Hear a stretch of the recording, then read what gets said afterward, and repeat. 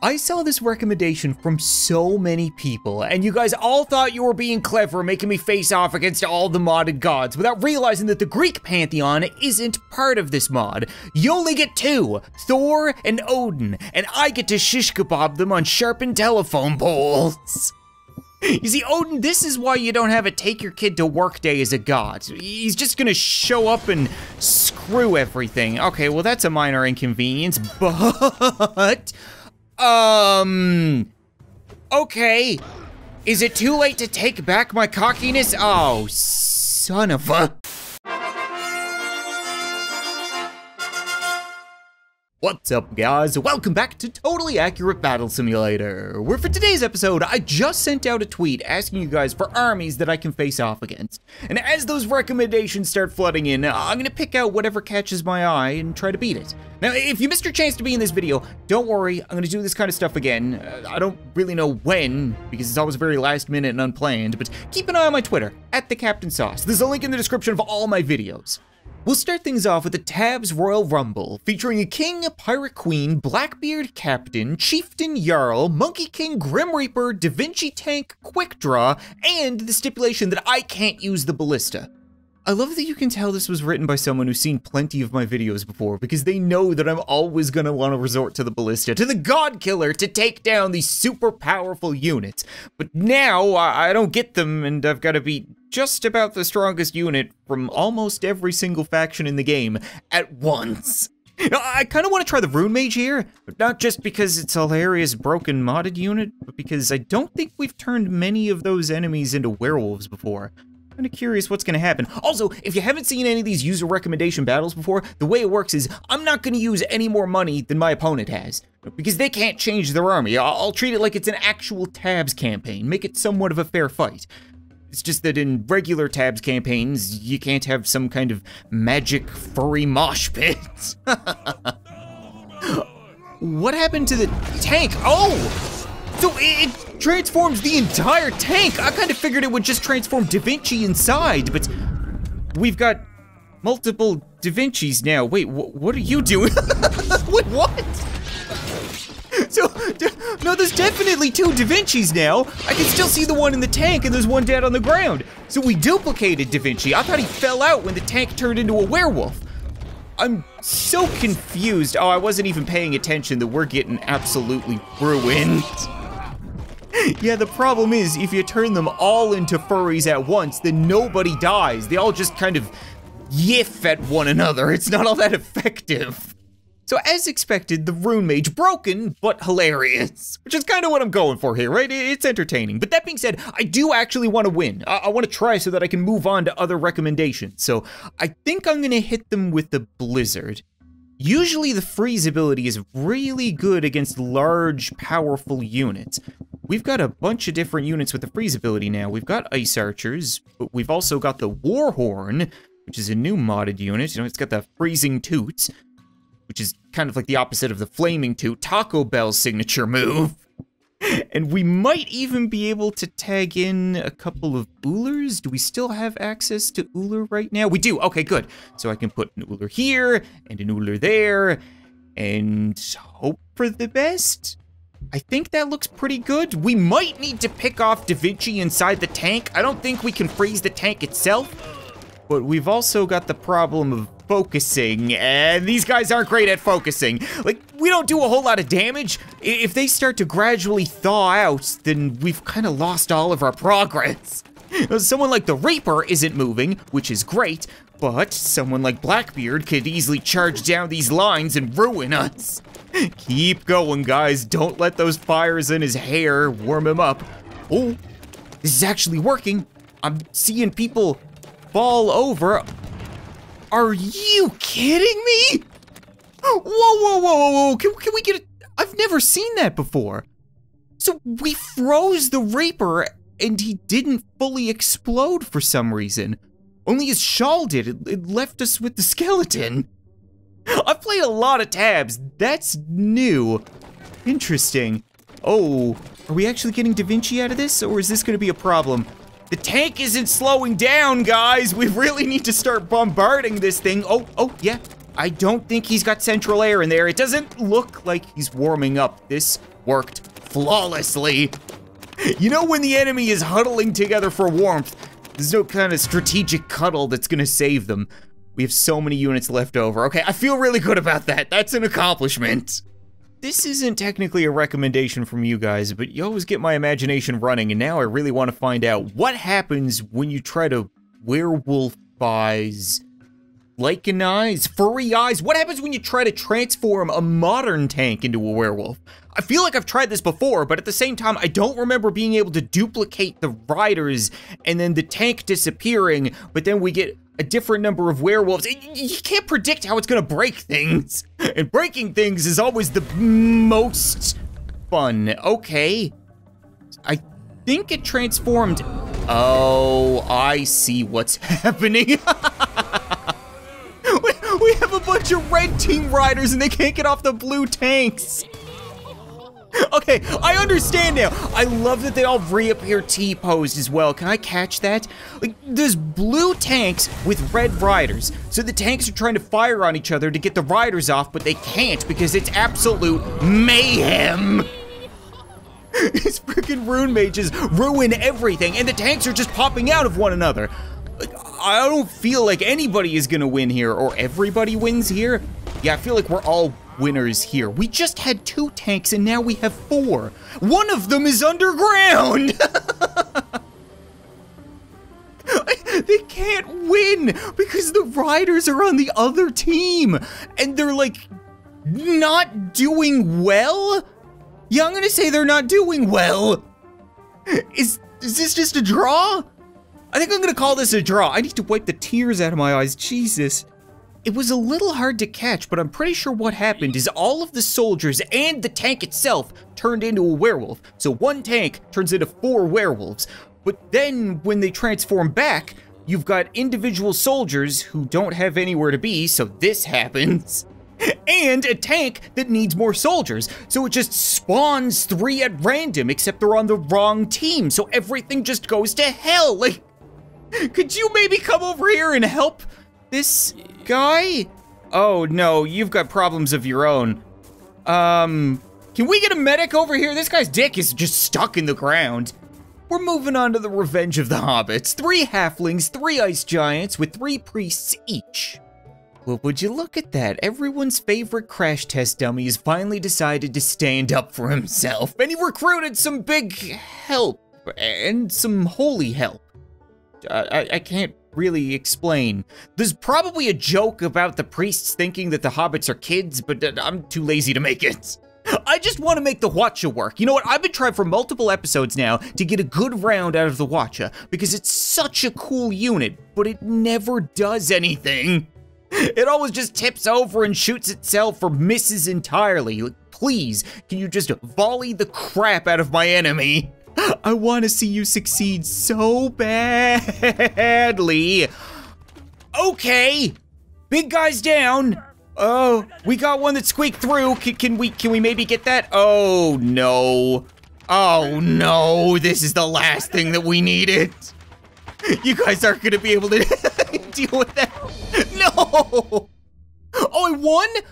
Oh, thank God. I thought we'd shot ourselves a million times over there. No, you know what? I'm gonna say that's not good enough. Even if it was a victory, I want a resounding victory because, I mean, they are who they are. So I'm gonna spread things out a little bit differently. So this way, if the hobbitses do manage to cross the bridge, we can hopefully murder them. Okay, we got the same squeaker. Please shoot now. No, why do you keep ignoring him? You gotta be kidding me. Now they're all gonna turn and bad things are gonna happen. Oh, oh, no, we're fine, we're fine. Everything is good. We've just got one priest left who's managed to hide in the corpse trench. He's just praying for a forecast that doesn't involve rocket arrows. Oh, I think we got him. How about one of every mount unit? Horses, bears, raptors, wolf, whatever there is. It's honestly getting a little tricky to figure out what is and isn't a mounted unit anymore. Like, the tank, is it technically mounted? It's got soldiers on its back. Or the barrel roller, is that a barrel that's mounted? Is the bomb cannon mounted by an idiot? Who knows? So I'm just gonna go with the horses and the wolves and the bears and the raptors and the wagon because I feel like that's fair enough. And I kind of want to see them charge into pikemen because that's what pikemen are for. Like that was their entire use. You don't 1v1 a guy in the streets with a 20 foot long pole. It's to ruin cavalry. So hopefully I can make a decent enough formation, double layered and not too bad. See if they charge into this and get ruined. Oh no. Of course, we didn't use pikes against bear cavalry because that wasn't a thing. he just swims over them. He's so overpowered. Oh, I completely forgot about Cupid. It has been a long time since I've used Cupid in this game, and he is the perfect counter to mounted units. because he makes the rider want to love the ridey. This is gonna be ridiculous. I'm expecting full-blown Beyblades. There we go. oh, oh, they still hurt. They still hurt a whole lot, even if they're spinning around. They're just kind of flailing. The, the bear is doing pretty good backflips. The Russian judge is definitely giving that a 10. But we kind of need to kill them. I, I would like them to be dead now, please. Oh my god. How do you counter flailing that powerful? I'm honestly not sure what the answer is here. Like, I have a nuclear option, but I don't want to resort to that quite yet. I, I want to see if I can actually beat this on my own. Maybe we can try a tornado? What if we get uh, Lady Red Jade Tornado into the air? It's gonna be difficult because she needs to be attacking something to start spinning. And it's really hard to attack these guys because they just kind of drive by. We could back her up with... Oh, I don't know. Actually, back her up with Cupid. Yeah, that, that was Cupid's issue, was that he didn't have anyone killing. He was just loving. You know, you gotta make love and war. Come on, Lady Red Jade. Oh, okay. That seems pretty effective. That's a real big tornado. I don't know if bears are weak to tornadoes. It's something that I haven't tried before. I can't imagine there are many textbooks that feature that information. Are we winning? I feel like we're sucking up our own cupids. Why? Uh, Ms. Jade? What's happening right now? I'm being told red victory, and I'll take it. It's the Shellmates, two tanks who fire the shells and 10 clams who throw them. How is this both incredibly clever and cost effective? Like, I know I didn't pick the greatest map to face off against them, because we've got this, like, choke point that's about two tanks wide where I'm gonna get run over. Unless I use something that can't get run over, like Snuffy. I don't know if Snuffy can headbutt a tank. Actually, no, I know that he can. I don't know how it's gonna go. Probably not well, but if he can buy me enough time, then maybe I can use something like the Reaper? If the Reaper reaches the clam jam, then it's over. We'll be able to demolish them. I've even got more money left over. We could also try guns? How about a whole bunch of guns? I hear guns are really good. They're the new upcoming thing. Let's try that. Snuffy is oof. Gonna take a shell in the tits, but manage to slow them down a little bit? Oh dear, okay. Well, technically this is what I wanted. We've got a Reaper, we've got two Reapers. One seems to be stuck on a tank, but point is we've got a Reaper, we've got the Clam Jam. You should be able, oh yes. Do you see what I mean? All those clams can't nibble at their toes because, I mean, they only have bones and they're floating. Oh, it's just a lot of bears and one halfling.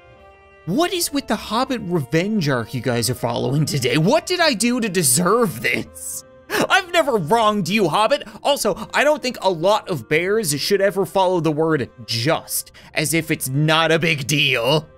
Once again, I want to try the Hwacha. I want to see if you can shish kebab the bears. They're wearing armor. I don't know if it's effective against arrows, but there's one way of finding out. Hopefully you guys shoot them all now. Oh no. Having a few survivors is bad because the riders are uh, real, real strong. Oof, oof, ouch, e okay, um, problems. Yeah, we got problems. Could you guys shoot? it's a 1v1. Okay, do I take control of you? No, I've got complete and total faith that you can shoot this guy square in the tits. Yes! I don't even know what happened to the hobbits. Like, I'm pretty sure he just got run over and eaten by the bears, little idiot. Every modded god. I saw this recommendation from so many people, and you guys all thought you were being clever, making me face off against all the modded gods, without realizing that the Greek pantheon isn't part of this mod. You only get two, Thor and Odin, and I get to shish kebab them on sharpened telephone poles. You see, Odin, this is why you don't have a take your kid to work day as a god. He's just gonna show up and screw everything. Okay, well, that's a minor inconvenience, but. Um. Okay. Is it too late to take back my cockiness? Oh, son of a. okay, minor setback. All right, you know what? Screw the price limit. I'm not ready to give up on the God Killer quite yet. Because technically, Thor throws Mjolnir. He also deflects with it. So if it's out of his hand, then maybe he can't deflect and we'll be able to fire off a late volley and catch him with the couple poles? Fingers crossed, guys, come on. We need to get ingenuitive here. Okay, we need to think outside the box. You gotta try something different. Like hitting him with the ballista. I like it! I've heard of a warrior's death, but never a warrior's concussion. Um, I think he's trapped underneath it, but he's, oh crap, he wiggled free. That's not good. Odin's down. Oh, yeah. Okay, not entirely fair, but it still feels good. This is actually a little bit closer to being fair. I know I'm 700 over, but I'm gonna make an exception. You know, it's also 2v4, they're outnumbered, but we've got all of the modded gods versus all of the regular gods. So we've got Ullr, we've got Artemis, we've got Zeus, and we've got Legacy Faction Thor, the lesser Thor. Let's see how they fare. Ooh, okay. I want to say that Mjolnir just deflected Mjolnir, which is pretty sweet. Artemis, you are gonna have to start shooting a whole lot faster. All the guys have let you down. Okay, Odin might be a little bit too strong against individual targets. Zeus just doesn't make the cut anymore, man. He used to be nuts. Now he's just like a wet paper bag. I told you guys earlier on the episode that I had a nuclear option that I didn't want to resort to, but I've been left no other choice. So we are gonna have to rush him using a whole bunch of explosives, and hopefully that'll get the job done. If it doesn't, I'm gonna need something back here to try to finish him off. A couple of wizards. yup, fingers crossed. Oh, you have got to be kidding me. No! He's the god of thunder! Why are you hitting him with lightning? You're a wizard, you should be able to do anything. Okay, you know what? I'm gonna call this a loss. Modded Thor is too strong. You shall not pass. A bunch of wizards in a line. Oh yeah, I know exactly what I wanna do here.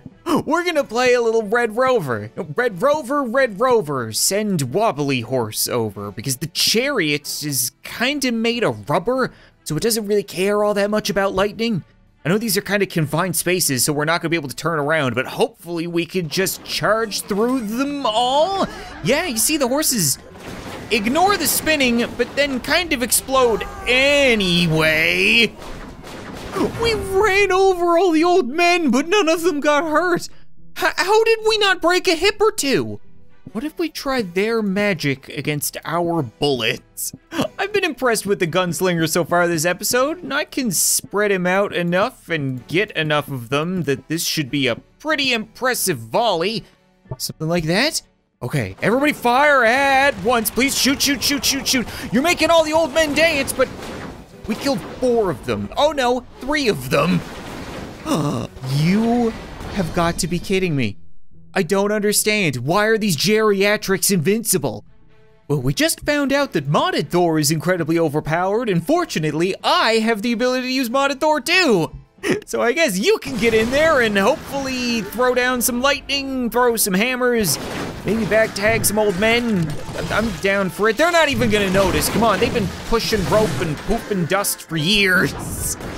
Oh, we lost a Thor. That's not supposed to happen. Wait, where's your Mjolnir? Where's your hammer, dude?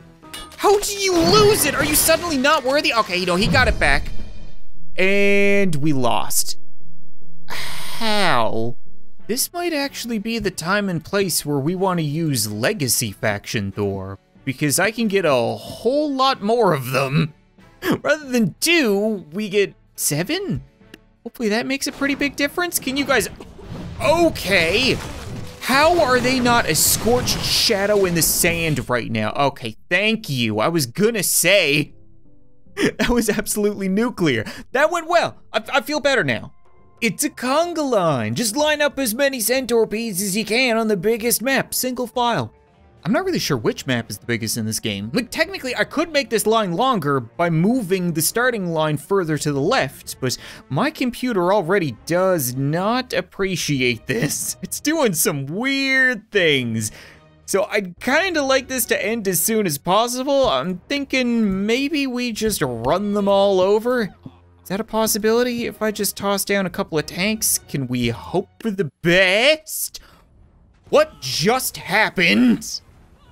What was that weird zoom out effect? Oh, it's like a giant blue wave getting run over by the tanks.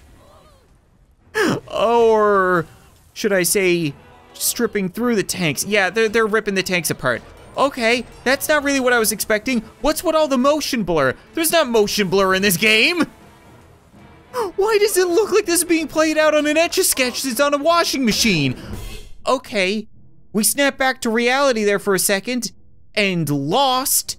Do you think the super peasant would have done a better job there?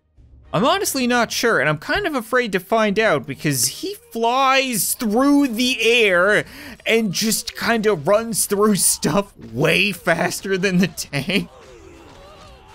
I'm never gonna be able to spot all these bodies. I can't even keep my camera on him. This is like trying to follow a Super Saiyan when you're Krillin. What is happening?